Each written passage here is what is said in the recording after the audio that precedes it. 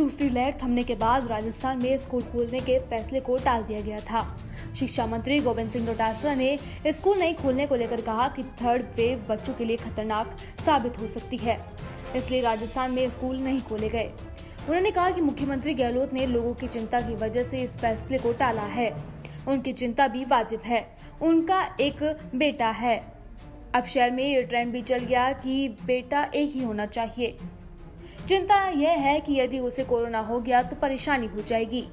शिक्षा मंत्री ने सीकर के सरकारी स्कूल कार्यक्रम में ये सारी बात कही। मंत्री डोटासरा ने बताया कि इस बच्चों की परीक्षा कोरोना काल में अधूरी रह गई। दूसरे साल हमने अन्य तरीके से पढ़ाई करवाने का प्रयास किया। कोरोना के दौरान जो मंजर देखा, रोंगटे खड़े करने वाली था। आज भी हम स्कूल नहीं खोल पा रहे हैं। हमारी मजबूरी है। डोटासरा ने कहा कि हमने स्कूल खोलने को लेकर मंत्रिमंडल में चर्चा की। सबने सहमति जताई थी। विशेषज्ञों ने भी कहा कि छोटे बच्चों के स्कूल खोल सकते हैं।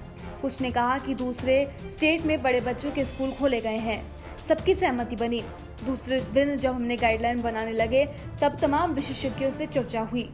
भारत सरकार के अधिकारियों से भी चर्चा हुई। विदेश के एक्सपर्ट्स से भी राय ली गई। तब एक बात निकल कर आई कि थर्ड वेव बच्चों के लिए बहुत ही खतरनाक साबित हो सकती है। इसलिए सीएम ने पुण्य विचार करके कहा कि पाँच मंत्रियों का समूह बनाकर चर्चा में डालें।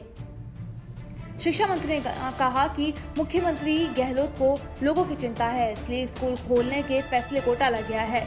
गाँव के लोग तो फिर भी स्कूल भेजने के लिए तैयार हो जाते हैं, जबकि शहरों में लोग तैयार नहीं हैं। उनकी चिंता भी वाजिब है। अब शहरों में ये ट्रेंड भी चल गया है कि बेटा एक ही हो। यह चिंता सभी को है। उससे कोरोना हो गया तो परेशानी हो जाएगी। हमारे लिए परेशानी ये है कि स्कूल नहीं खोलने से बच्चे पिड़पड़ाते हैं, जो कि उन्हें पढ़ा दिया तो भूल जाएँगे। पेरेंट्स भी परेशान है तो वहीं दूसरी ओर स्कूल भेजते हैं तो संक्रमण का खतरा है। सरकार के लिए दुविधा की स्थिति बनी हुई है। ब्यूरो रिपोर्ट डीपी के न्यूज़ जयपुर।